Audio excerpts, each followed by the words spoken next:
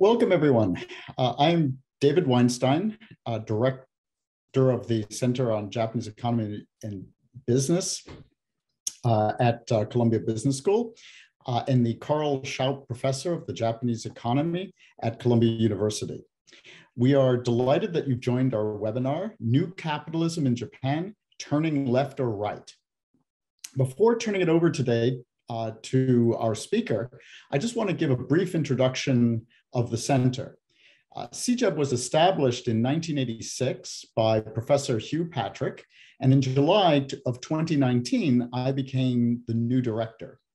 Our mission at CJEB is to promote knowledge and understanding of Japan's economy and its business systems in an international context.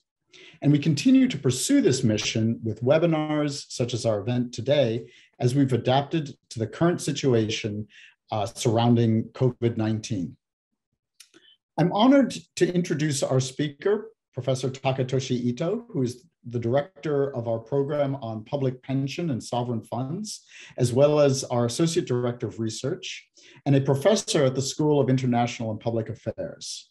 I've known Taka for uh, most, if not all, of my professional career, and I count him as a very close friend and wonderful resource on the Japanese economy.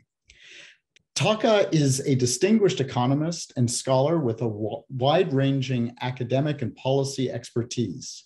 He has taught extensively both in the United States and in Japan at the University of Minnesota, Hitotsubashi University, and at the Graduate School of Public Policy at the University of Tokyo. He's been teaching on the Japanese economy and on Asian financial markets since he came to Columbia. He was president of the Japanese Economic Association in 2004 and has been a research associate at the National Bureau of Economic Research since 1985. Taka also has broad experience in government as a policy advisor. He was appointed to the International Monetary Fund as the senior advisor in the research department from 1994 to 1997 and served as Japan's Minister of Finance, Deputy Vice Minister for International Affairs from 1999 to 2001. He was awarded the Japanese government's National Medal with Purple Ribbon in June of 2011 for his outstanding ac academic achievements. You can read more about him and his achievements in his bio on our website. Taka and his work is invaluable to CJEB and we were fortunate to have him here with us. This is his seventh annual lecture on the Japanese economy, which has become a cornerstone of our programming as he discusses changes to Japan's economy and economic policies. After his presentation, we will have time for question and answers. Please send your questions through the Q&A feature in Zoom if you have not submitted your questions in advance. But before we start, I want to take a moment to thank our corporate and individual sponsors for the generous donations. These gifts allow us to continue developing and delivering exceptional webinars like this, this one. Without your support, it would be impossible for us to function. Thank you so much. Okay, Taka, I'm going to turn the mic over to you and look forward to hearing your remarks. Thank you, David. Thank you for kind introduction.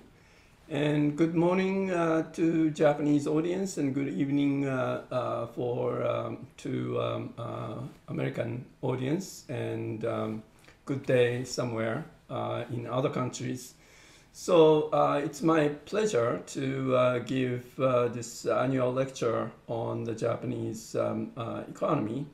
And this is to take stock of what is going on in Japan and what we, we should uh, expect in the next um, uh, few months to, uh, to a year. So um, the big news uh, in Japan is that we have a new government, uh, new prime minister and new government. And um, uh, the big headline of the prime minister Kishida is new capitalism.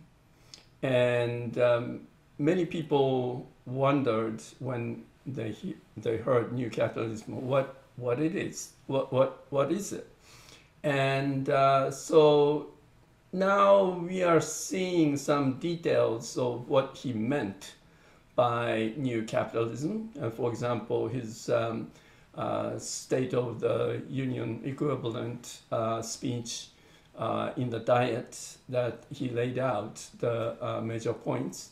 He uh, started the um, council on the new capitalism, realizing new capitalism.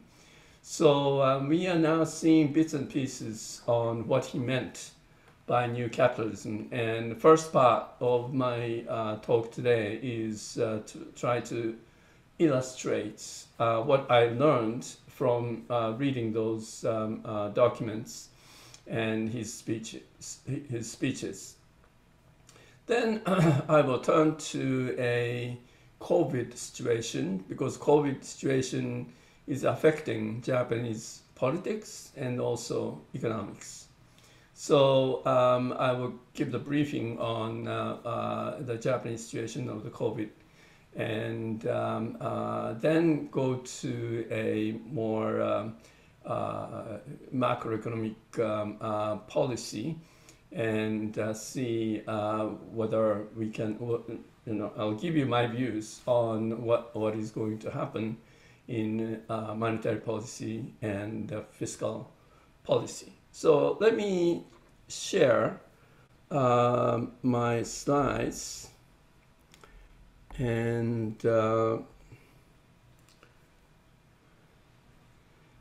start from here. So I will explain the uh, uh, new capitalism, then some concrete measures are now coming out then uh, uh, then uh, um, COVID situation, then monetary policy and fiscal policy.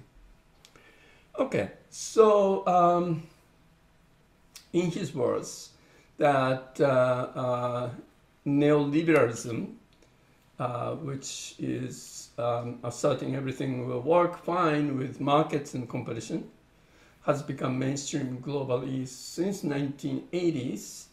However, neo, neo, uh, neoliberalism has um, uh, some side effects uh, and like um, uh, causing the inequality, widening the inequality and increasing poverty and uh, too much burden on nature.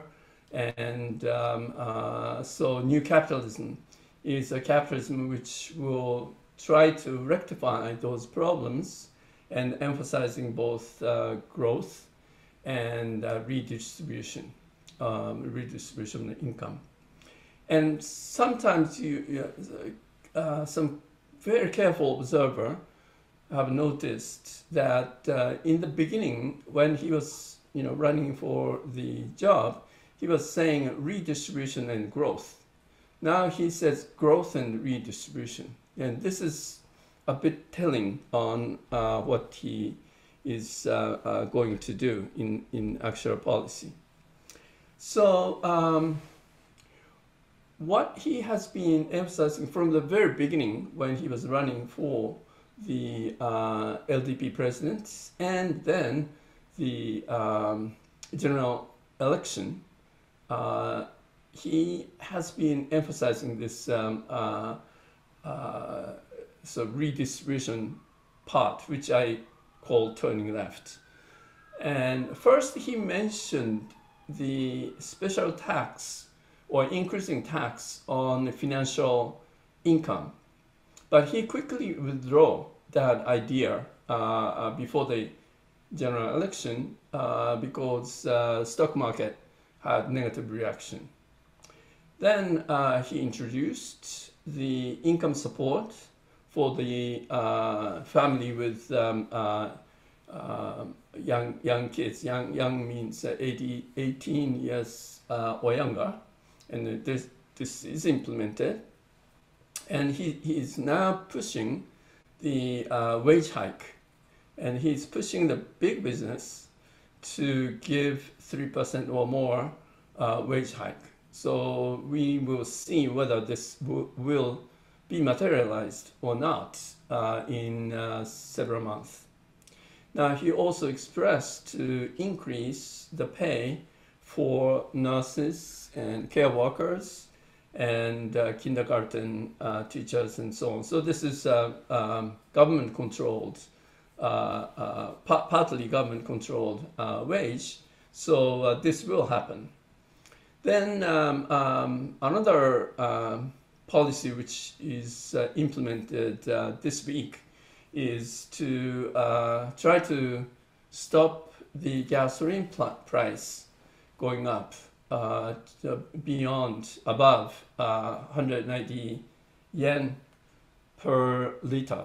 And uh, what's peculiar is that he's giving subsidies to wholesalers, not consumers, but wholesalers in the hope that uh, that will be passed on to the retailers and then to consumer. So I'd say uh, these policies, some of them are kind, to a uh, lower income uh, families and some of them are kind to workers but uh, some of them are a bit questionable in the real um, effects uh, intended effect uh, could be could be could not be materialized so these are the some of the um, policies which are not uh, market oriented or uh, growth oriented. Now, as I said, that he is now emphasizing more on the growth strategies. And um, uh, he has actually four points or four pillars uh, on this uh, growth strategy. One is the um, uh, innovation, emphasizing innovation. Of course, innovation uh, will increase the um, productivity and that will result in wage hike. So this is straightforward, straightforward um, uh, policy to um, to uh, uh, cause the um, the um, uh, wage increase, as, resulting wage increase, and I don't see any difference of this policy from, for example, the Abenomics third arrow.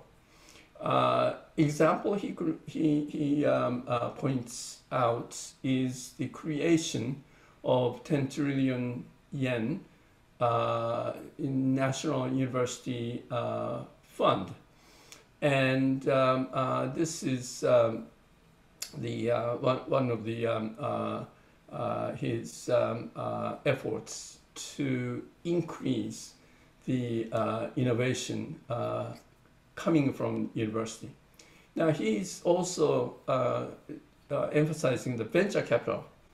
So uh, try to come up with a policy. There, there, is, there will be a council uh, deliberating on how to make an ecosystem for uh, uh, innovation. So th this, this will be interesting. But again, the venture capital has been emphasized since um, Abenomics. The second one is um, uh, interesting, also interesting uh, one called the Digital Garden City. And uh, Garden City is a translation from uh, Den-en Toshi uh, in Japanese. Now, if you don't know the history, um, there is interesting uh, roots in this Garden City, Den-en Toshi idea. This goes back to a Prime Minister Ohira, uh, and he mentioned this uh, garden city uh, idea, and um, uh, many people think that comes from the uh, Ebenezer Howard of uh, United Kingdom back 18 back to 1898 or there's a Forest Hills Gardens in New York, which started 1909. Uh, or you could go back to a uh, uh, Shibusawa's idea in 1922. Now, Ohira was the prime minister, but the uh, leader of the faction within LDP, which the, um, the uh, Kishida uh, has the lineage from. So um, it is going, going back to the factional, uh, uh, uh, factional um, idea of uh, this uh, garden city. So what, what is the digital garden city? So digital garden city is to build a 5G network to every town and village so that you could promote uh, remote work, education, medical services, uh, drone delivery, and so on. So basically, uh, this is to, to um, uh, stimulate the economies outside Tokyo. So to make whole Japan uh, uh, accessible to, um, to the technology and um, uh, start making businesses uh, using those technology. So I'm not sure this is uh, left or right, but um, um, try to uh, try to uh, promote the try to promote the um, stimulating the economy in the rural area. Okay, so this is probably very important for the um, politicians to uh, emphasize because you know politicians have to run uh, for the election uh, from every every uh, every part of the uh, uh, part of the Japan. So this will go very good to those um, who live outside Japan and Osaka. Okay, so third one is a climate change problem. Uh, and this is nothing new. Uh, this was already um, uh, declared uh, by Prime Minister Suga that carbon neutral by 2050 and um, uh, intermediate um, uh, target of 46% reduction by 2030. so no, no new concrete policy agenda here. Um, and um, uh, economists would say, you know, we, wanted to see um, uh, carbon pricing in there, but there is no carbon pricing mentioned. Fourth one is economic security. And this is to make the supply chains robust and uh, basic infrastructure robust. So this is um, uh, in reaction to the supply chain problem uh, which we found out uh, in the COVID um, uh, recession. And um, uh, the um, danger from the US China economic conflict, and we may, the Japan may, Japan may fall into a very difficult place if the US and China uh, seriously uh, go to head, head to head on the uh, economic uh, conflict. So uh, create a new fund to do the research on the AI, quant quantum computers, life science, space, and the ocean. Okay, so these are the four pillars on the growth strategy, growth part of the um, of the um, uh, uh, his um, um his um, uh, the growth redistribution uh, virtuous cycle. Okay, so what he is doing is to create to have created this um, uh, council for realizing new capitalism at the cabinet uh, secretariat, and they have met uh, three times already and um, uh, try to come up with a concrete, um, uh, concrete um, uh, policy measures. So the, the in the first meeting they set the agenda and um, tone of the council, and I read those documents, all, all the documents. And um, uh, it says the growth is needed to earn revenues for redistribution. So growth comes first. That's good. Uh, and uh, redistribution is for growth in the next stage. So this is uh, uh, in interesting parts that we haven't heard from uh, in, in the Abenomics and so on. All right, so um, that's the uh, idea. Yes, growth comes first, then you, you have the funds to uh, redistribute. A wage will go up, then uh, social security will be uh, beefed up, then uh, cons- consumption will go up, and that goes to the next stage of the growth. So it makes sense. And um, uh, in the one uh, that, that they have the data uh, shown uh, in what the what the problem is, and uh, this is um, um, I, I, show you two of the uh, figures that is that was inclu- included in the do- documents of this council. One is that yes, the real wage has not been increasing in Japan at all, and all other uh, G5 countries are uh, experienced have experienced the decent wage hike. So there is something wrong with Japan. Why wages are rising? And uh, corporations, uh, uh, although corporations are earning uh, decent profits, they're not they're not distributing to to workers. That's the sort of hidden implication. Um, Okay, so this is consumption. Consumption only went up slightly uh, over this um, um, 30 years and the bottom of the G5 uh, countries. So these are the uh, figures distributed to the council members uh, uh, in the beginning of this um, uh, meetings. but, but I'm not I'm not a member of this council. Uh, but I, I see uh, many of my friends' name, names in, uh, in the council. All right, so that's the um, new capitalism in a very uh, uh, a brief summary of the new capitalism. So um, I, I, think um, the looking back, what happened in the last um, two years since COVID started, right?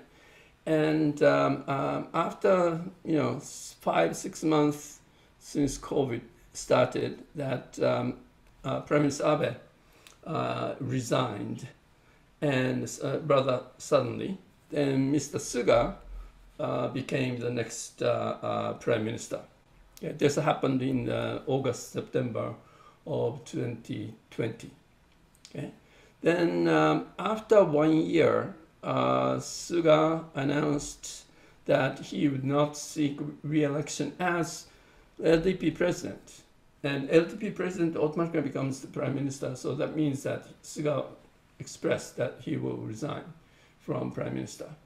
Then um, in LDP uh, president election, that Mr. Kishida was um, uh, chosen as the next leader and defeating uh, uh Mr. Kono and uh, Ms. Takaichi. And um, um, then Mr. Kishida became prime minister in October last year. And since then, he has been talking about this new capitalism. And he won the uh, general election right after he became prime minister. Okay? So I'd like to um, make a brief um, uh, uh, so description of how COVID played a important roles in politics and also economics. So this is a story of the last two years. And um, I would argue, so this is my view, uh, I would argue that COVID played a, uh, you know, COVID contributed to the Abe's resignation and also Suga's uh, uh, not seeking uh, re-election. Okay, so um, Prime Minister Abe tried to. Um, uh, so this is the first wave in the spring of 2020, almost two, uh, two years ago, that he tried to do several things which didn't uh, get favorable reaction from the uh, from the public, and his uh, approval rating uh, went down uh, to the lowest of his um, uh, his seven-year tenure. Prime Minister the Suga became a prime minister and, and tried to tackle the third wave of the um, uh, third wave and, and the fourth wave of the uh, COVID. And um, uh, again, not very successful from at least from the public's uh, view.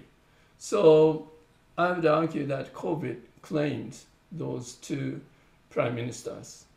And that, so Kishida, Prime Minister Kishida, how he handles this Omicron, Omicron uh, uh, spread is uh, uh very uh, crucial for his uh, for his um, the prime ministership um, um, popularity and the next election, which is coming in July, the House of Councillors election. Okay. So, all, all, you know, it is very difficult to make a balance between uh, socioeconomic activities and um, uh, suppress the uh, COVID um, uh, infection uh, uh, pandemic. and that shows in the economic data like GDP consumption and unemployment. So um, we, we have the spectrum of the COVID policies from basically uh, no restriction uh, in Sweden to zero corona uh, in, in China. And US and Japan are somewhere in between. Okay? And um, uh, what is noted, I, I, I will show you the data, is that um, uh, uh, in Japan that um, infection rates and death rates are very low compared to the US and, and Europe.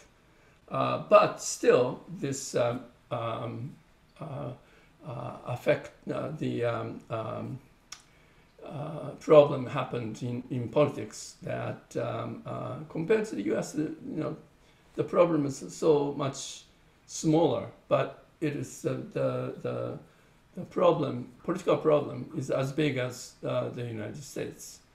Now, uh, also another note is the um, vaccination. And I will show the data that the vaccination started late, but caught up with the US in uh, six months.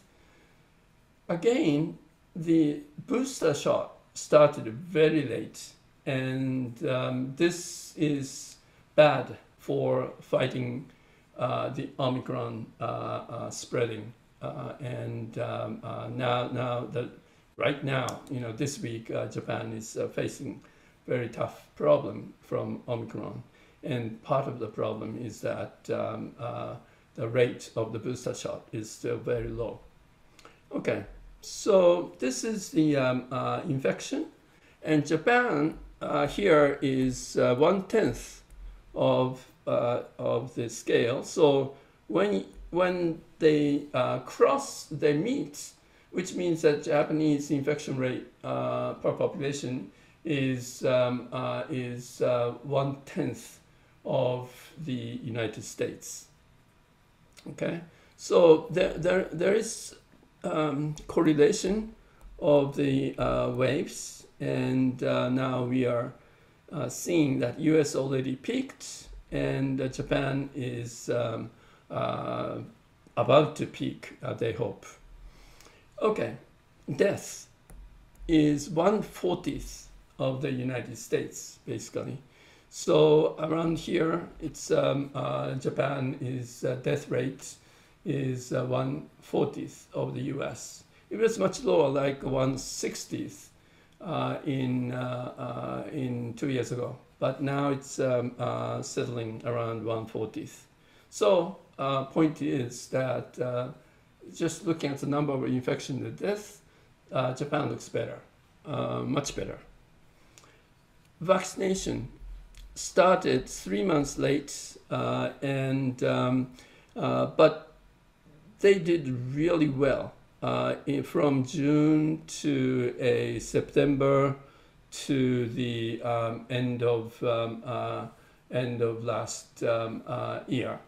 Okay, so it crossed the around mid uh, September. So I would give you know credit to uh, accelerate uh, the vaccination to Prime Minister Suga and um, uh, Mr. Kono, who was in charge of the uh, securing uh, vaccines and distributing to the um, to the um, local municipalities. Okay, so this is the vaccinated, fully vaccinated, which means twice, right? Two shots, or in case of JJ, once. But the fully vaccination, you know, Japan looked good in, in, in November last year until the Omicron came. Now, uh, this is the um, uh, newly infected per day, which in Japan, uh, and uh, Abe's resignation was in the middle of uh, second wave, and Suga's uh, resignation came the um, early September last year, and this rise um, basically costed cost him in uh, uh, in uh, uh approval rating. Okay, now we have to see how Mr. Kishida will do in the approval rating uh, by handling the Omicron. So uh, this is remains to be seen. Okay, so this is the approval rating and uh, black is um, um, support. Uh, uh, so approve, approve. I didn't show you. So this is uh, approve. So went down to the mid 30s, uh, which was the lowest in Mr. Abe's tenure of seven years. And Mr. Suga started very high approval rating, but came down and down and down and uh, very low. Uh, and this probably uh, is very uh, disappointing him, him, and did not seek the re-election. Kishida started reasonably high and still going up. So um, uh, it's, it's um, a bit unusual that, uh, you know, honeymoon was not there, but its um, approval ratings increasing. But again, from here, how it goes uh, as Omicron uh, goes uh, is, um, is uh, re uh, um, remains to be seen. Okay, right. So this is booster shots. Okay, so this is a concern. I, you know, a concern and challenge for Mr. Kishida handling the Omicron. So booster shots started only in November last year in Japan, it's still below 5% of the population. US is already above 25%. Okay?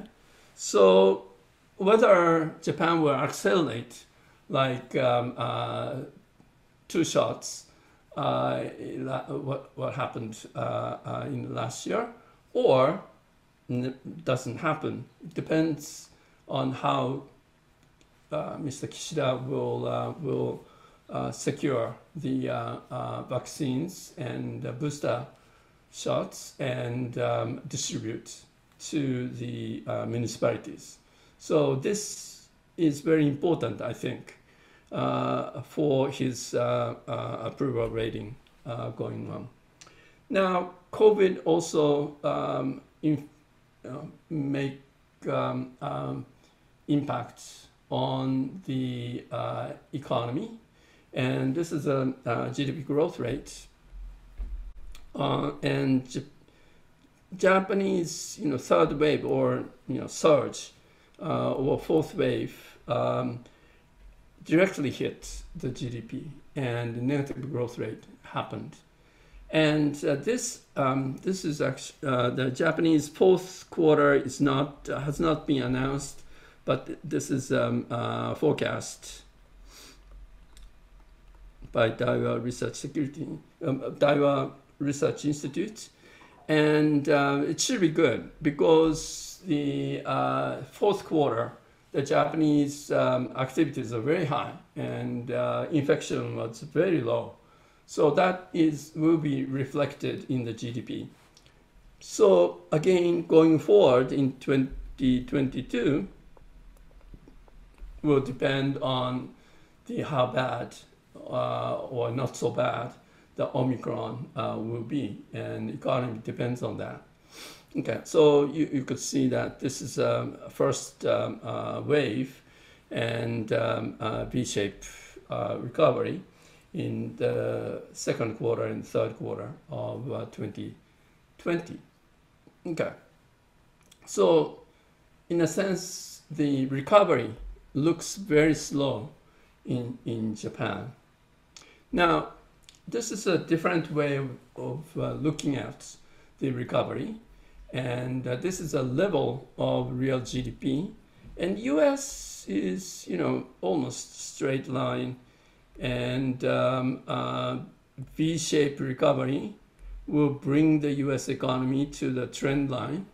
Uh, you know, pre, pre-COVID peak was already passed and going back to this trend line, which you know, U.S. looks uh, reasonably uh, uh, good in achieving the recovery.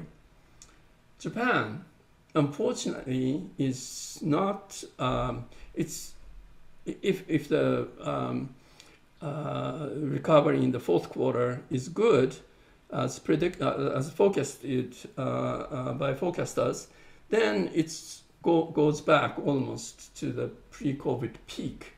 But, you know, if there, there's a trend line, it's still way off the trend line. So in that sense, you know, Japanese recovery is weak. And this goes to the, you know, the restrictions on activities uh, on, and um, that cost the uh, Japanese um, uh, Japanese economy. All right. So why why the you know low infection and death didn't result in robust recovery? And um, I think the answer is that hospitals were not well managed, or government didn't manage hospitals uh, well, and uh, there are too many uh, mid-sized private hospitals who refuse to uh, uh, give the beds to the COVID patients. Why the vaccine started so late, and again for the booster shots. And this is the Minister of Health, Labor and Welfare was reluctant to, um, to recommend or certify vaccines. And this is in general, not just the COVID. There's a long history, which I, I don't have time to go into. And um, um, regulations uh, on uh, who can administer the shots is uh, very, uh, very uh, strict uh, in Japan. Basically, only doctors can give the shots. So you have to get the volunteer doctors to administer shots, which have been very difficult. That's why the Mr. Kono uh, and Mr. Suga mobilized uh, self-defense forces to uh, to give um, uh, vaccine shots, and um, so these are the so, sort of the I would say the problems of the uh, Japanese uh, fighting against COVID. Okay, so um, the Omicron is now the um, big issue and whether the same mistake uh, is uh, repeated or Mr. Kishida can come up with the, some clever way of balancing between the economy and uh, COVID uh, uh, remains to be seen. Okay, so um, in the new capitalism, conspicuously absent is a traditional macroeconomics, uh, macroeconomy uh, um, policy measures like monetary policy, fiscal policy, and trade policy. It's not um, uh, mentioned at all or mentioned uh, very little. Okay, so I don't have the time to go into the details uh, of um, I use uh, almost allocated time. So let me point out just two, uh, two, three, three figures. Okay. All right. So um, this is um, CPI, um, uh, inflation rate, and Japan has. This is from 2013. So this is all Abenomics years and you know reasonably in uh, it's in the positive territory, so it's not, not deflation anymore, except those um, uh, months in uh, 2021. U.S. was reasonably high, just below two percent, but around two percent after that, and now it goes to seven percent. So the debate in, in, in the U.S. is that whether uh, Federal Reserve is behind the curve or not. And one way to, I have a, um, so I wrote um, a column in Japanese. I'm sorry, it's, it's only available in, on, in Japanese. But um, I argued that Federal Reserve is not behind the curve.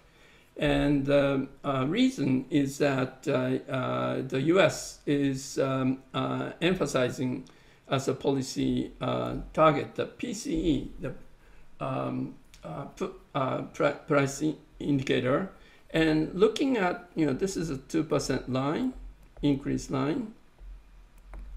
And yes, the CPI already broke that 2% line, but PCE is still below 2%. So what if I write the same graph in Japan?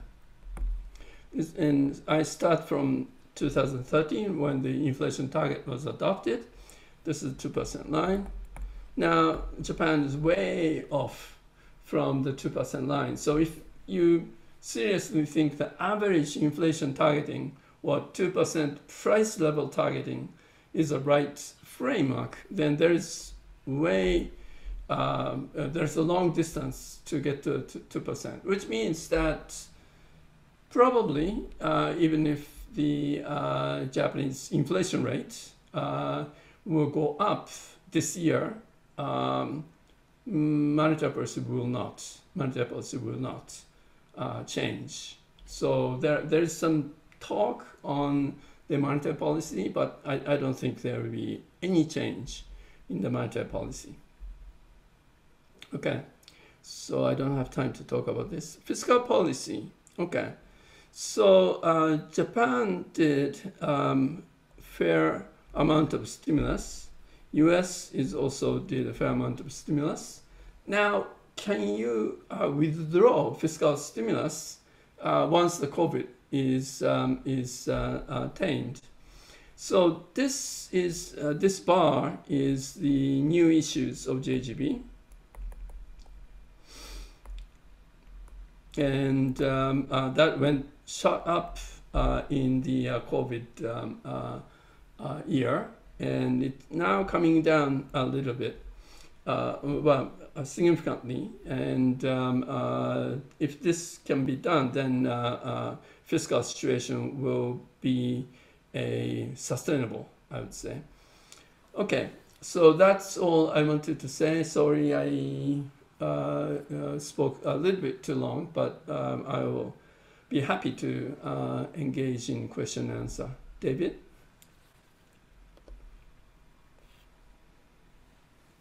Great, thank you so much, Taka. That was a that was a great presentation. You covered an enormous amount of uh, material, and uh, it was all really interesting. And um, I have lots of questions, and there also are lots of questions um, from the uh, from from from the audience as well. Let me. I I, I want to start. Um, I mean, there were many things that you you you you touched on. Um, I want to start um, by uh, kind of in the order of, of what you covered, and, and you began talking about uh, Kishida and uh, his policies. And one of the things that struck me relative to Abe, especially the Abe the second time, uh, the second Abe government, mm-hmm. um, is that when Abe came in, he, he, he seemed to realize that prime ministers can only do a limited number of things. And he had his three arrows, and that was a very effective communication tool. Mm-hmm. Um, I lost track of the number of policies you were talking about, but it sounded like on the order of something like uh, you, you, you had four growth strategies, which each had a number of different components, mm-hmm. and then you had something like four or five uh, redistribution strategies. Mm-hmm. It seems like it would be too much for any politician to get all of this through um, in any major way. Of all of those policies, if you had to pick one or two that you think he's actually going to be able to do, what do you think those would be?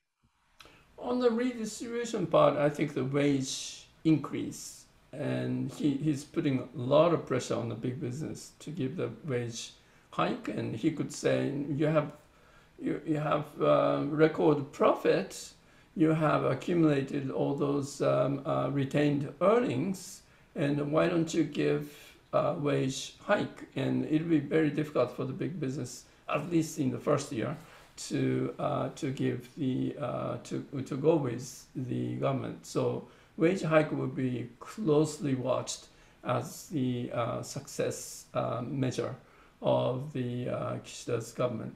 Growth policy parts, I'm not um, I'm not so uh, certain. Uh, but um, uh, he may he may feel this uh, garden city, digital garden city, would be a best bet. That it's it's um, achievable, and um, if you put money to build this 5G um, uh, network, yes, he can do it. And uh, a question is whether that really contributes to the growth of the whole all the communities in Japan. And and so, so actually, we're, we're talking about growth. One of the things that you covered that I thought was really interesting was the differential responses of the Japanese economy kind of uh, in the recovery period, right? So in the US, we're, we're having this boom. Uh, there's, a, there's a huge increase in demand. Uh, you know, it's hard for firms to keep up with, with, with all of the orders coming in. And one of the big, one of the striking differences between uh, Japanese policy and U.S. policy in the, in the COVID period, um, it was in one of your charts, but but I didn't have time to talk about it. Was that you know the U.S. policy, uh, you know, involved um, a lot of liquidation of workers, a lot of firing of workers or laying mm-hmm. off of workers. Unemployment skyrocketed, and now firms are desperately tr- scrambling to rehire workers. Whereas in Japan, the policy tended to keep the workers employed in the same firms, mm-hmm. uh, and then um, you know one story that's told is that that reduce dislocations and put lower pressure on on prices mm-hmm. but you might have thought that would also uh, enable Japan to recover faster um, in the in the in the post-pandemic period, but we didn't see that. So I guess one question is why what accounts for the fact that that that this policy that kind of enabled firms to you know hold on to their workers and therefore not have to find new workers you know as, as, as restrictions eliminated were eliminated why can't they produce more so um, I think there are two answers to that. One is that um, uh, they haven't uh, got the opportunity to utilize those um, uh, holding uh, uh, workers uh, because the again the Omicron is putting all the activity restrictions and Japan believes in this um, hypothesis that all the the infection comes from talking loud to each other, drinking alcohol.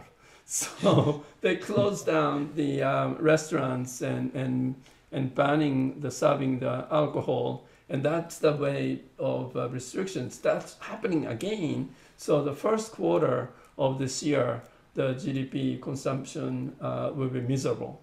So uh, that is a way to restrict the activities is, is uh, biased against uh, this um, uh, uh, this restaurant business. So um, they haven't got the benefits of hold, holding workers. Two is that they may be missing the uh, medium-term structure change of uh, going to more remote work and more delivery instead of the eating in. And uh, um, maybe they are creating zombie. So, um, you know, may, you know, it, there are good points and bad points of the U.S. of the firing workers and calling back and, and uh, not enough coming back. But you know, Japanese um, uh, uh, Japanese way of holding workers may be also um, uh, de detrimental uh, if there is a new normal is different from old normal. Um, so I, want to give uh, some of our audience members a chance to uh, ask questions. And I have a question here from uh, one of our uh, Columbia Business School students, uh, Jackson Boone, who asks, um, how will Japan address demographic constraints uh, to remain um, a dynamic economy? So the, the demographic issues are, are continuing. How is Japan going to deal with those? Yeah, that's very good, a very good question. And um, the this COVID crisis um, uh, aggravates this um, uh, problem by you know restricting the foreign workers coming into Japan. So the labor shortage uh, in the area of the jobs which uh, foreigners take, uh, have taken uh, in the last um, you know five seven years since Abe came in. Um, so um, uh, demographic uh, constraint uh, has become um, uh, has become uh, severe, and uh, in the medium run to long run, I think the Japan has to cope with this um, by increasing participation rates of women, participation rates of the elderly, and um, uh, and um, uh, come up with the policies to to increase the uh, increase the number of babies and um, uh, encouraging couples to um, have you know, feel comfortable having baby or more babies. So that that's that's a very basic way of tackling the uh, uh, demographic. you know robots are, are not a solution, and there are a lot of robots talking to the elderly uh, in the old folks' home and so on. Let, let, me, let me switch gears a bit. Um, we have a we have a uh, a, a um, question from a former colleague of yours and actually a former CJEB fellow here, uh, Etsuro Shoji, um, who's asking about uh, one of the charts that you showed about, which I thought was really interesting. And there are a number of, of questions in the in the in the um, in the in the Q and A section about this, right? You, you showed this chart about uh, U.S. inflation, the trend in U.S. inflation being two percent, and that we're just kind of uh, with the last bout of inflation, uh, CPI is just crossing mm-hmm. that that line, and uh, the PCE is is is is approaching that line. Mm-hmm. Um, but when we looked at Japan, which I thought was really interesting, uh, we didn't see um, uh, uh, prices coming up to to to the to that uh, to that trend that that earlier trend that we had in the data. So deviating. Um, deviating. yes, it's deviating. Um, and I guess there's a question now about you know um, will will or should the BOJ um, raise rates uh, given that right? Um, and you know, one of the other questions that kind of, I guess, there's a perennial question, and we we we've talked about this many times, is you know, given you know, um, the enormous accumulated Japanese government debt, and this has just gotten even bigger in in, in the wake of this um, uh, response to COVID. Um, how do you see this playing out? Um, you know, like to some extent, you'd think Japan would be ripe for having a lot of inflation, yet um, you know, we see po- the possibility of inflation, but we haven't actually seen the the the numbers really move up a lot. And and how do you think the BOJ is going to respond to that? Yeah, so it's a narrow path that um, uh, you cannot have a sudden increase of inflation that would affect the uh, interest rate and and um, uh, that would cause the financial instability. But um, uh, if you continue the uh, this um, uh, policy of um, uh, easing uh, then that will accumulate the that, that makes the size of the problem you have to deal with in the future gets bigger and bigger. Right. But solution now narrow path is that uh, you have to gradually increase inflation rate and gradually increase the uh, interest rate. So normalization in slow speed, and um, uh, that that's I think is the only uh, only solution. Well, I want to turn the gears a little bit and just um, talk to something. Talk, ask you a bit about something that you alluded to uh, but you didn't have time to talk about in your in your in your remarks, which is uh, Japan's trade relations with its partners, and especially, um, uh, you know, we see with with with RCEP coming on stage, and also, you know, we're we're seeing tensions with China that that uh, if they're not getting worse, they're not getting better. Let's say that mm-hmm. um, they're certainly not getting any better, uh, or, or, or, or, relations there how do you see kind of Japan's role in international uh, uh, trade policy change under Kishida, um, and um, where do you see things going? So, uh, Prime Minister Kishida and Foreign Minister Hayashi, uh, some observers are saying that they are more uh, more uh, friendly, friendlier to China than the Mr. Abe or um, uh, his his associates. But I think they are keenly aware of that uh, uh, criticism, and also they're keenly aware that uh, what the U.S.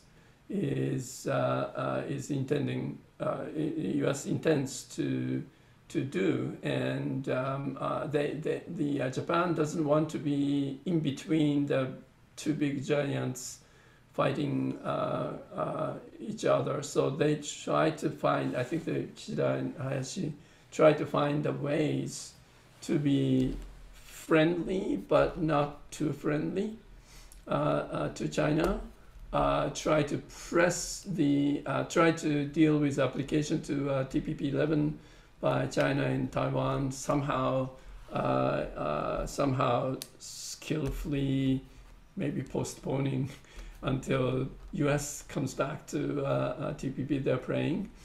And um, uh, so trade is, uh, uh, yes, a difficult question, but the talking about this uh, resilience of the supply chain and, um, uh, and, and uh, economic security means that I think Kishida is ready to, uh, to uh, go maybe one step uh, toward um, independence from those uh, too much reliance on China, on key, key products and technology. And, and let me just ask one last um, uh, question, just just kind of just to sum up on on Kishida and his policies. Mm-hmm. You know, on the one hand, he's he he, he seems to be pursuing, um, you know, so so in, in many ways you may think that this policy that you're talking about um, with with raising wages is mm-hmm. going to be is kind of a left wing policy. I guess it's left wing unless it also yields higher prices um, and then maybe maybe it doesn't uh, doesn't do that much. Do you see that Kishida represents a big change for Japan, or is it, it or is it more? You know, should we be expecting that most of this is not going to get implemented and uh, he's going to look more at the end of the day, you know, in, in, in a year's time, we'll think of him more like a Suga uh, prime minister than a than an Abe type prime minister. Well, certainly the rhetoric is very different, and um, uh, the image he projects uh, is very different uh, from uh, uh, two prime ministers uh, which preceded him. So, um, but but the actual policies, whether they're similar or different, remains to be seen. And my guess is that it cannot be so different. I, I don't think a revolution, uh, good or bad, uh, would not happen under Kishida. Well, I'm I'm I'm I'm very sorry. We have a lot of a lot of questions still in the uh, Q and A section, but um, unfortunately, we are we are completely out of time. Uh, and uh, so, I just want to thank everyone uh, for joining us for what was just a, an amazing talk. I don't know, Taka, how you keep uh, delivering these. It's you know every talk every time I go to one of your talks, I, I learned so much, and uh, this was no exception. Uh, so I just want to thank um, our uh, thank thank you for uh, what was a great uh, great presentation, and um, uh, we all, I think, learned a lot about this new capitalism in Japan uh, and uh, the, the Japan's economic future. And I just want to end by also thanking our corporate and individual sponsors uh, for all of your support uh, during these very tough times. Uh, it means a lot to all of us, and I think it means a lot to our audience as well. So thank you, and, and lastly, thank you to the audience for for joining us, and everyone stay safe.